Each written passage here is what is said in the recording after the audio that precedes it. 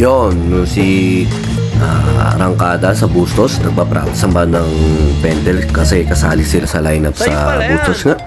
Tsaka yan, ah, dumaan ako at sasama ako kay paring Toto. Sabi ko mag-PPA na lang ako, nakakita niyo naman. Yung mga gamit ni paring Toto, napaka-solid talaga ng base up niya. Habang ko naramdaman yung pinaka-solid na base up. Tsaka yan, biyahe na kami, papunta na kami yung Bustos dahil nga ang set down nila 340 parang ganun. At syempre, kwento ko kwento kami nila paring ubas sa sakyan at nandiyan na nga kami sa tuloy ng Bustos. Napakalapit. Doon lang malapit yata sa cemetery yung event. Napakalaki ng lugar. Napaka-solid nung sound system. Napaka ganda ng tunog. Napakaganda ng setup. Saludo sa mix yan at saka sa, sa One Touch. Hindi ko pa taga-bataan pa raw yung mga ibang kasama nila eh. Pero napaka-solid talaga tsaka niya. Ah, PA boy muna tayo. Dala muna tayo mga gitara ni Boss Toto. Tsaka kanina nung pauwi, nag-drive ako. Ah, ginagamit ko rin yung sasakyan ni Parin Toto at napakasarap din i-drive. Ayan, si Papa Ubas. At ayan, naglalakad na kami. Napaka-solid nung venue rin. Buti na lang, nung umulan ng konti, hindi nagtuloy, hindi lumakas. At saka syempre nandiyan na rin ang bandang perna na kwentuhan natin. Napakadaming Marshall, napakadaming bouncer. At saka yun si Mark nakatin yung naglalakad. Ito paikot-ikot na kami naghahanap kami ng mga kakainan dyan mga pipika-pikat si parin Toto ililibre kami yan lahat ng mga nandiyan tropa niya pinatulog niya ng mga kung ano-ano. Napakayaman talaga ni Toto kaya lalo pinag pinagpapala ni Lord at saka nakita mo yan yung may kainan dyan sa gilid-gilid ng ganyan. Nakita ko rin yung C-spot dyan eh. Si Ma'am Charm nandiyan dyan din ng C-spot. Hindi ko lang nalapitan naiya ako pero uh, at saka yun din may pupuntahan din ako kasi dumating din sila pa dudot sa labas. Tsaka yan nga si Machay shoutout kay Machay. Sa masarap na minudo rin kahapon at saka ito nga. Kuha lang kami ng kuha dahil si parin Toto nga daw magbabayad. Napakasolid talaga ni parin Toto shoutout Sh- shoutout di shoutout Ayan, shoutout syempre sa studio niya rin at saka sila parin Dudot at saka si Angel ang kanyang ligaw nakita mo, nakita-kita kami. Pero nung bandang hapon, bandang paggabi, hindi na kami nakita-kita kasi napunta na kami kila Matcha. Eh. Napaka-solid ng event talaga na yan. Napakasarap na pagkakataon na nagkasama-sama. Dati kasi nung nasa BMS kami, niya, nung Baliwag Music Society pag may event-event din na ganyan, nagkakasama kami. At saka yun nga, si Jake at saka si Monique ang mga pioneering ng Baliwag Music Society. Shoutout syempre kay Paring Ellie, kila Moncha, kila SJ, sila Paring Joko na mga nakasama kila Joyce, yan. Tsaka si Sir Jojo, ayun. Ayun yung mga uh, bouncer natin umuntik na may mag-away ni Paring AC. Tsaka yan nga, uh, si Bandang Perla, saludo sa'yo. Tsaka yan nga, uh, nag-set na si DJ Jazz. Masa Jasmine yata yun. At ito yung PA niya naman, si Mark. Nakita nyo yung nakapulang bag na yun. Yung PA, at si Perla kinakabahan. Ito na si Kano. Napaka-idol natin to. Idol na, shoutout natin sa Boys Papawis yan. At saka ito na nga, nagkaroon ng problema. Nakatumugtog na ang Perla.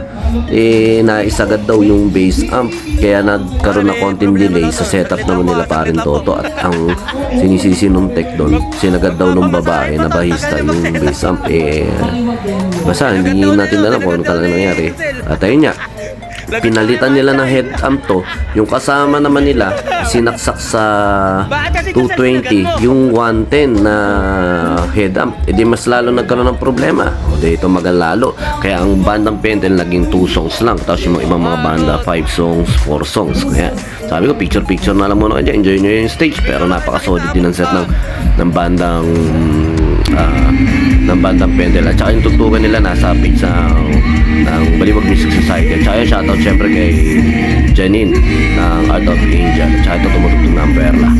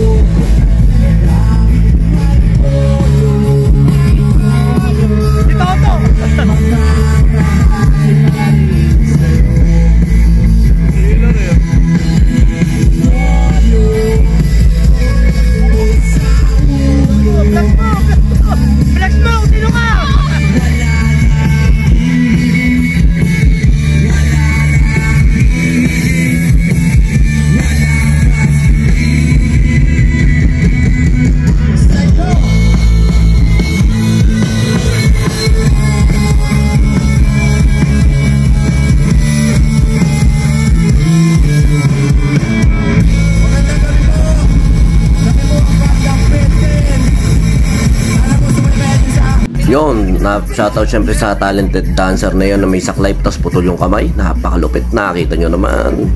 Shoutout sa'yo, idol kita. Tsaka yan, nakakita nyo, may mga nagpapakap na dahil ng mga iba na iniisip nito. Namimiss na nila yung alak. At tsaka yan, nakakita nyo, umulan pa. At napaka-solid, napaka-solid ng mga ng mga crowd. Hindi umaalis kahit umuulan.